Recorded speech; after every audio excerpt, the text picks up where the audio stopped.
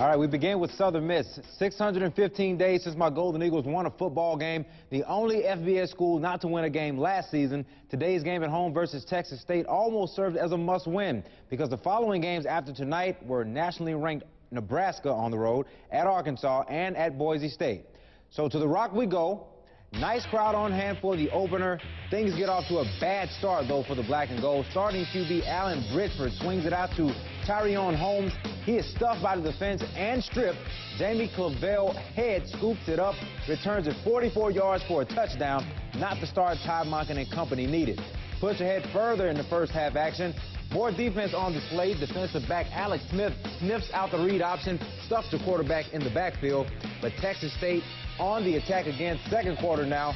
Jordan Moore goes to Robert Moore on the screen pass, and the running back races down the sideline 23 yards for six more. USM trails at the half 14-3.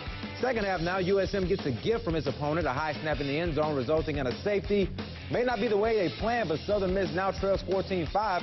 Later in the third, here's the first offensive touchdown of the season for the black and gold. Bridgford goes up top to James Cox, who brings it down in the corner of the end zone. The six-yard score makes it 14-12.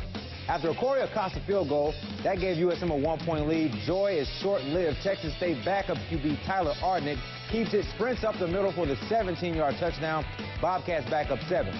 Last chance for USM, 33 seconds left in the game. Bridgford hits Holmes across the middle on a drag. Receiver gets a big gain for first down, but the clock is ticking. And with Bridgford back to pass, can't find anyone. He is sacked. Game over. Southern Miss losing streak now at 13 games, 22-15 is your final. Well, you get what you deserve. You know, in this life, you get what you deserve. And we deserve that loss. We earned that one. Can't drop footballs, can't turn it over. You're not going to win. I don't care what level you're at. When you start off with turning the ball over, as I told the team, we have a good football team.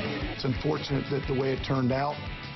We really wanted to go out there and we wanted to show that, you know, we're not going to be an 0-12 football team ever again, and we're going to get back to the winning ways. And it was really rough losing at The Rock because I don't want to lose at The Rock ever again.